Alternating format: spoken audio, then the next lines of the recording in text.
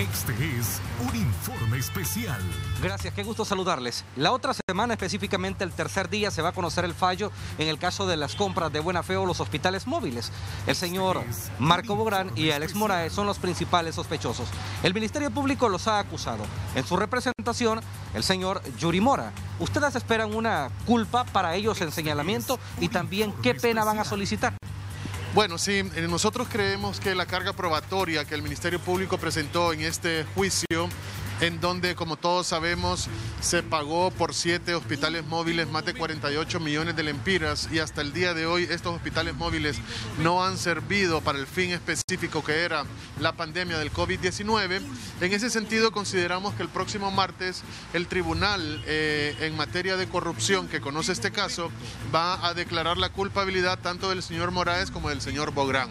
¿Por qué delitos específicamente de fraude, de abuso de autoridad y violación a los deberes de los funcionarios? Entonces nosotros consideramos que el martes eh, ellos van a ser declarados culpables y vamos a esperar que se dé también la fecha de individualizar cada una de estas penas que van en el caso de fraude de 6 a 9 años y en el caso de abuso de autoridad y violación a los deberes de los funcionarios de 3 a 6 años. Obviamente que el Ministerio Público va a pedir en ambos casos la pena máxima para las dos personas procesadas. ¿Se logró la demostración de la evidencia en el debate de juicio para lograr esto?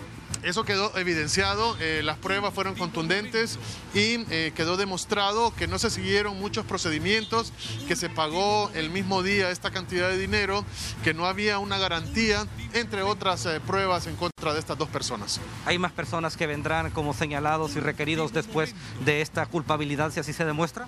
Por supuesto que sí, los fiscales continúan trabajando, preparando pues nuevos casos de personas implicadas.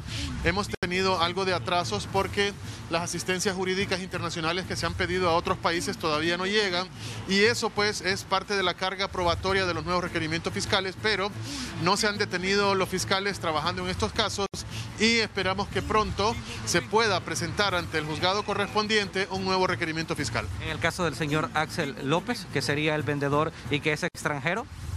En el caso del señor Axel López, el Ministerio Público pidió a través del circuito de juzgados anticorrupción que se declarara la alerta roja migratoria.